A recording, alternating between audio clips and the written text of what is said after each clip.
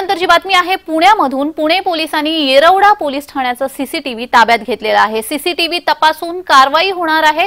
अल्पवयीन आरोपीला पोलीस ठाण्यामध्ये पिझ्झा आणि बर्गर दिल्याचा आरोप आहे. पोलीस ठाण्यात कुणी राजकीय दबाव आणला का याची देखील चौकशी केली जाणार आहे. पुणे पोलिसांनी घटनास्थळ पब आणि पोलीस ठाण्याचं सीसीटीव्ही ताब्यात घेतलंय.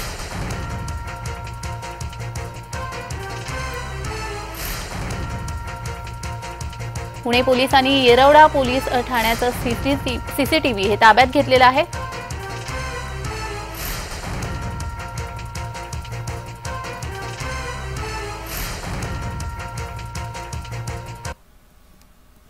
तर या संदर्भात अधिक माहिती देण्यासाठी आमचे प्रतिनिधी रोहन कदम हे आपल्याशी जोडले गेलेले आहेत. रोहन पुणे पोलिसांनी येरवडा पोलीस स्थानकाचं सीसीटीव्ही आता ताब्यात घेतलेलं आहे आणि आता जी माहिती मिळते त्या माहितीच्या अनुषंगाने दहा पोलीस पथकं या सर्व घटनेची तपासणी करणार आहेत. या घटनेसंदर्भात आणखी माहिती घेणार आहेत. तर याविषयी काय सांगाल? अगदी बरोबर आहे जान्हवी. खरं तर पुणे पोलिसांचं संपूर्ण क्राईम युनिट जे आहे ते या संपूर्ण केसवरती काम करत आहे केवळ क्राईम युनिट नाही तर येरवडा पोलीस स्टेशनचे काही अधिकारी देखील या सगळ्याच्या मध्ये काम करताना पाहायला मिळत आहेत. सगळ्याचं कामकाज जे आहे ते व्यवस्थित करण्यासाठी आणि मोठ्या प्रमाणामध्ये वरून प्रेशर असल्यामुळे आणि ही जी बातमी आहे ही जी घटना आहे ही घटना राष्ट्रीय बनल्यामुळे मोठ्या प्रमाणामध्ये पुणे पोलिसांवरती दबाव आहे.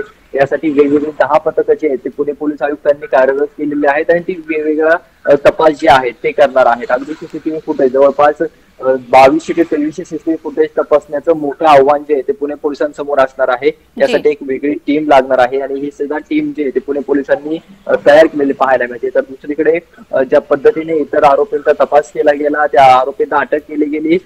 त्याबद्दलची तपास त्यांच्याकडून केलेली कारवाई ह्याचा वेगवेगळा तपास जो आहे तो वेगवेगळा तपास करण्यासाठी पुणे पोलिसांनी वेगवेगळ्या टीम ज्या आहेत त्या कार्यान्वित केलेल्या पाहायला मिळतात. आणि या सगळ्या टीमच्या माध्यमातून पुणे पोलीस जो आहे तो वेगवेगळ्या अँगलने या सगळ्या घटनेचा तपास करणार आहे. कारण का अपघातानंतर सुरू झालेली ही सगळी घटना अगदी छोट्या राजांच्या संबंधांपर्यंत पोहोचली. कारण त्या अगरवाल कुटुंबाचे संबंध छोट्या राजांशी जोडलेले पाहायला मिळेल. त्यामुळे हा इतका विस्तीर्ण असा हा सगळा घटनाक्रम आहे. त्यामुळे निश्चितचपणाने हा सगळा लंबी घटनाक्रम जर का तपासायचा असेल तर मोठी टीम लागणार आहे. आणि यासाठी पुणे पोलीस आयुक्तांनी दहा जी. रोहन या दहा पथकांची बैठक देखील आयोजित करण्यात आली. ही बैठक नेमकी कधी होणार आहे आणि पुढे तपासाला कधी सुरुवात होईल? रोहन माझा आवाज पोचतोय का आपल्यापर्यंत? काही तांत्रिक कारणामुळे रोहन यांचा संपर्क तुटलेला आहे. मात्र पोलिसांची दहा पथकं आता तयार करण्यात आलेली आहेत आणि प्रत्येकाला जबाबदारी देऊन काम ठरवून देण्यात आलेलं आहे. सीसीटीव्ही तपासून यानंतर आता कारवाई केली जाणार आहे. येरवडा पोलीस ठाण्यातील सीसीटीव्ही पोलिसांनी ताबा ताब्यात घेतलेला आहे.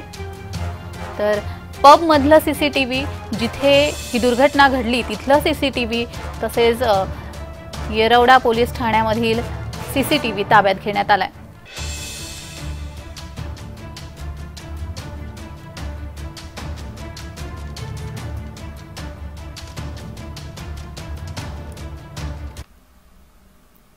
तर या संदर्भात पुन्हा एकदा आपण रोहन यांच्याशी जोडले गेलेलो आहोत. रोहन आज पुण्यामध्ये तीन आंदोलनं देखील या संदर्भात होणार आहेत. ही आंदोलनं नेमकी कुठे होणार आहेत? कशा पद्धतीने ही आंदोलनं केली जाणार आहेत? रोहन. मोठ्या प्रमाणामध्ये राजकीय वळण जे या सगळ्या सगळ्या घटनाक्रमाला लागलेलं पाहायला मिळालं होतं. राजकीय वळण या सगळ्या घटनेला लागलेलं आहे. त्यामुळे मोठ्या प्रमाणामध्ये पुण्यामध्ये असंतोष निर्माण झालेला आहे. विविध पक्षांकडून जे ते आंदोलन केली जाते.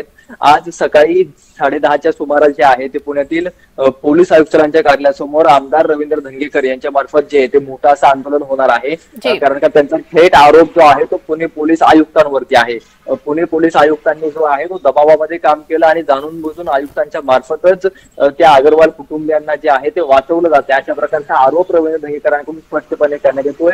आणि त्याच्या विरोधात जे आहे ते ते आज सकाळी साडेदहाच्या सुमारास पुणे आयुक्तालयाच्या समोर बसणार आहेत. तर दुसरीकडे राष्ट्रवादी काँग्रेस पार्टी शरदचंद्र पवार यांच्या पक्षाच्या वतीने जे आहे ते पुण्यातील जिल्हाधिकाऱ्यांच्या कार्यालयासमोर ठिय्या आंदोलन केलं जाणार आहे. या आंदोलनाचं कारण आहे की गेल्या अनेक दिवसांपासून त्यांच्याकडून पाठपुरावा केला जातोय. पब बार रूफटॉप हॉटेल जे आहेत त्यांना बंद करावे त्यांच्या वेळेमध्ये कुठेतरी सुधारणा करावी आणि त्यांच्यावरती कुठलीही कारवाई होत नाही. यासाठी वेळोवेळी ते पाठपुरावा करतायत परंतु तसं होत नाही. याच्या निषेधार्थ ते ते अ, पुण्याच्या जिल्हाधिकाऱ्यांच्या कार्यालयासमोर आंदोलनाला बसणार आहेत. तर.